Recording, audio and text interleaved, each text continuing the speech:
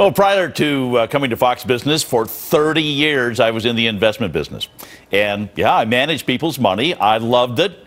Actually, I kind of miss it a little bit. So I thought we'd try something new. I know the questions that people ask about uh, not only how to invest their money, but also about the various investment products and choices that you have to choose from. So we're going to try something new on this show to answer some of those questions each weekend.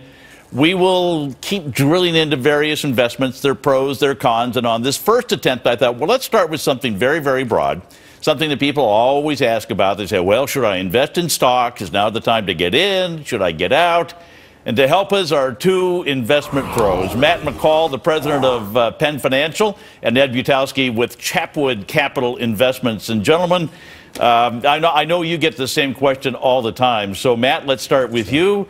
The, stock market, if somebody comes up to you on the street and says, uh, should I should I invest in stocks? You know, the stocks are high again. So what should I do when the economy's all jittery? What's your answer? I say yes. If you're a long-term investor and you're willing to park your money for a couple of years, I still think the stock market's going to give you the best bang for your buck out there. Um, you know, the big argument people have is, well, the stock market hasn't done much over the last 10 years. Well, take a snapshot of the last 20 years. You would have made one heck of a boatload of money. And really, where else are you going to put your money right now? You look at the money market; it's paying, paying zero. So you're not making any money putting your money in a checking account. So I think if you want to have return, you believe in the fact that global economy is going to continue to grow, which I do, and which it has for the last uh, 20 decades. Yes, you want to invest in stocks. But Ed, people, what's well, your I mean, answer to that question? That I'm sure you get a lot.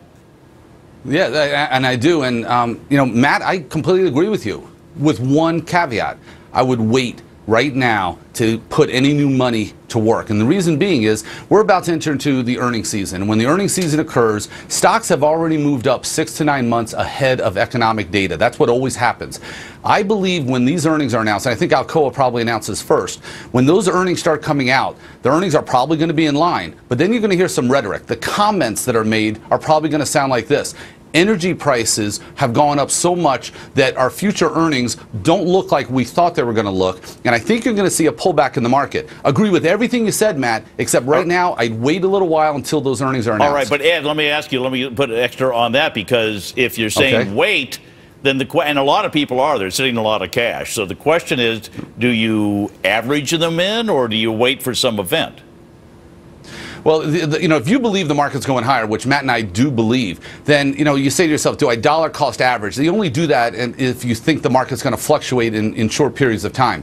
When that market corrects, and I never want to be a market timer, but nobody wants to invest and then see a 10% pullback, which I think we're going to see very, very soon, especially when earnings start being announced. So, do you dollar cost average in? You could start that right now, or just wait a little while before you uh, commit some new money. All right, Matt. Let me ask you on on a lot of people use mutual funds. They're not really pros. They don't know what to pick.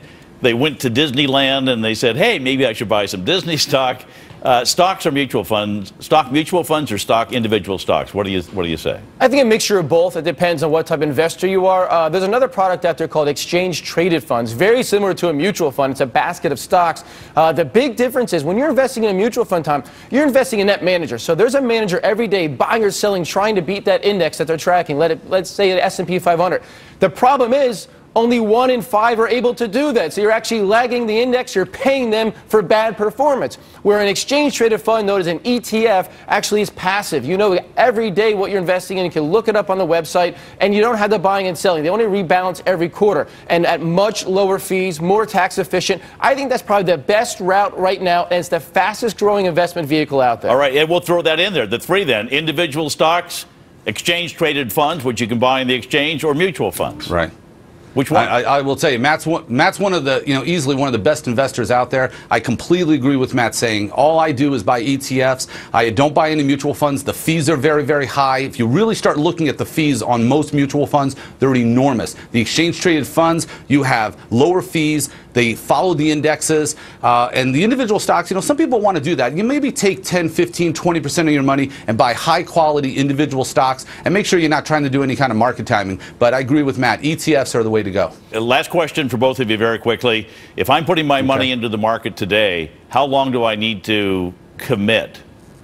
Can, if, if I need the money in a year, is that good? Two years? I Five think- years? I think if you need the money in one year, you say, I'm going to purchase a home in one year. No, you do not put the money in the stock market. Put it in something uh, that maybe gives you a yield a little less aggressive. Uh, but if you have at least two years time frame, yes, you can commit to the All stock right. market right here. Ed, two years, is that good enough for you?